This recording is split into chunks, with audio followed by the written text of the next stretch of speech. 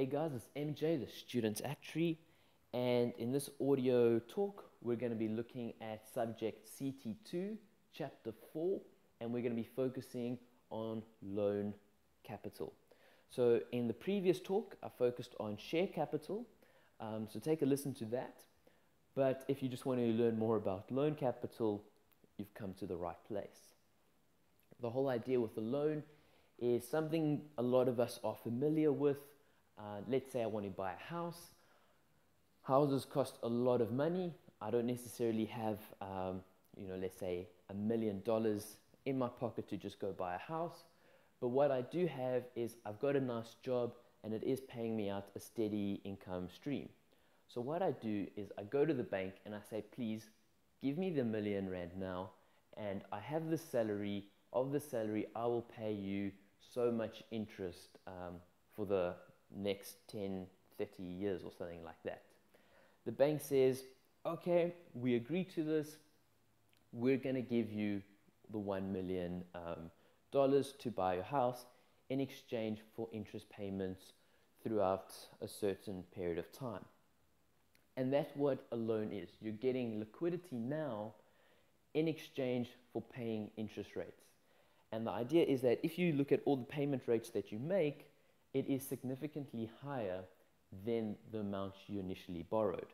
So if you have a lot of money, you don't need to borrow more money because you're paying for that money. You're paying for the usage of it. And what we're going to see with companies is that they've got two options. They can either sell shares and equity, but they might not be be too keen to do that because that means they're giving away voting rights.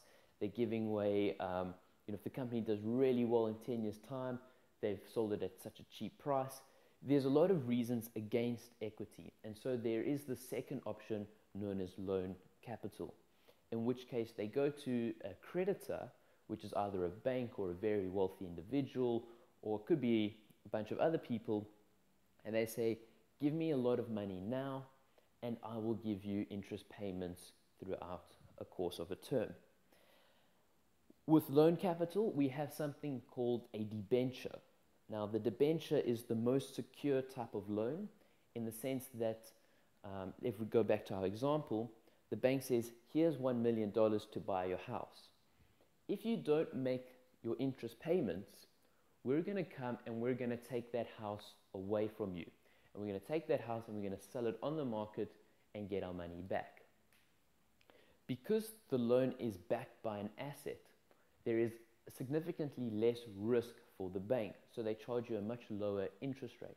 They're still going to charge you an interest rate that is quite high in the sense that there's a lot of effort involved in trying to take that house and selling it and you know they might not get the best price for it and there's real estate there's, there's all this this effort involved in turning the asset into cash to settle the loan. So there still will be some sort of um, interest or risk premium to account for that. But the main idea is saying that this person is going to be more likely to pay the interest and not default because there is a serious consequence if he doesn't do that. This debenture, in contrast, there is unsecured loan stock. And this is when you just give someone money and you say, if you don't pay, tough luck for both parties. You can maybe try sue and go into liquidation and all that type of stuff. But the idea is, I give you some money and you pay me the money um, back in installments uh, every month. And the whole idea is why they do this is because we say, well, this guy has a job or this company is making profit. We're seeing these income streams. They just need the liquidity now. There's a very low chance that they will default. Therefore, I'm prepared to make this loan. In South Africa, my home country, there was a company who was issuing quite a lot of unsecured loan um, to the general public.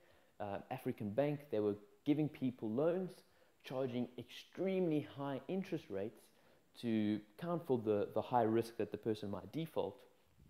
But because the interest rates were so high, the people were defaulting and it caused massive problems and African Bank is not in a very good financial situation as of now.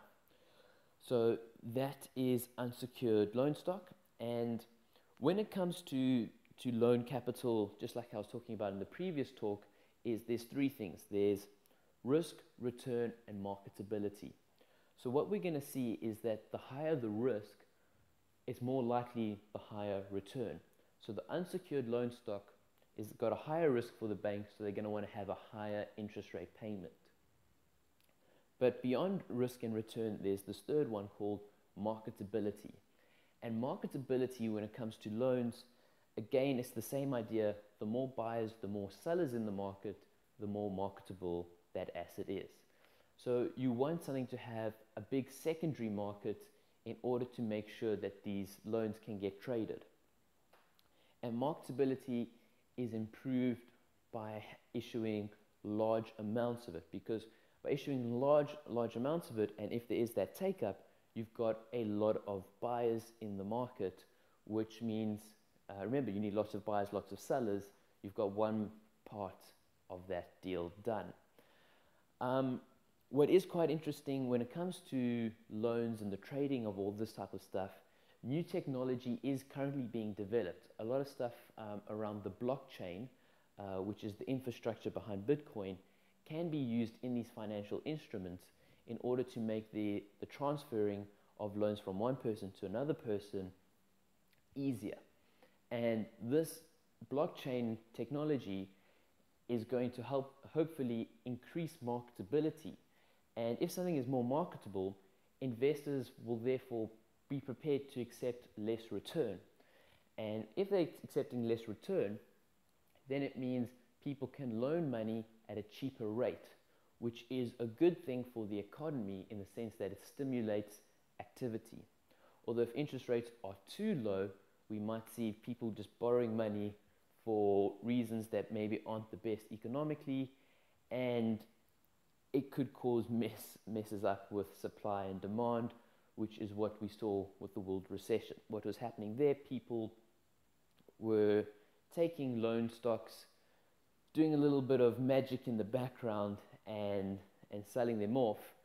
But by doing it at such a massive scale, because interest rates were so low, they altered the supply and demand of the housing market, which these things were then backed on. They fell down. The stocks that went from being secured debentures, they took on a junk status mass selling, and it kind of caused a financial problem all around the world. But then we're getting into a little bit too too much detail. So let me let me wrap up this uh, this talk by talking about um, a thing called a euro bond. A euro bond is when you issue a bond outside of your legal and tax jurisdiction. So the idea being that if I'm in South Africa and I issue a bond in America, in order to tap into more um, investors, that is known as a euro bond. Um, the word euro just meaning that it's outside your country. I think it was generally done between the Americans and the Europeans, um, hence why it got that name euro, but it doesn't have to go through, through Europe. And euro bonds are normally unsecured loan stock, but when it comes to the issuing of loans, I mean, there's so many subtle features that you can tweak and you can customize to create your own financial instrument that you feel is best targeted towards your investors and is the best way to raise finance for your company. But yeah, that is just a brief introduction on loan capital. Uh, go through the material because you'll see I haven't spoken about stuff like par value or nominal value and coupons and redemptions and various um, options on when to pay it back and all that type of stuff, just because that is kind of boring and it's best um, understood when you read that material and you figure it out for yourself rather than just hearing someone talk. If I had to talk about it, it would be a much, much longer video. So don't kid yourself, there is still a lot of material you need to go and find out for yourself, but I hope this has given you a good enough introduction to loan capital and yeah, the next video is going to be on derivatives, and that's going to be chapter 5. And that stuff gets quite exciting. So make sure you stay subscribed in order to get notified when I release that video. Thanks, guys, for listening. Cheers.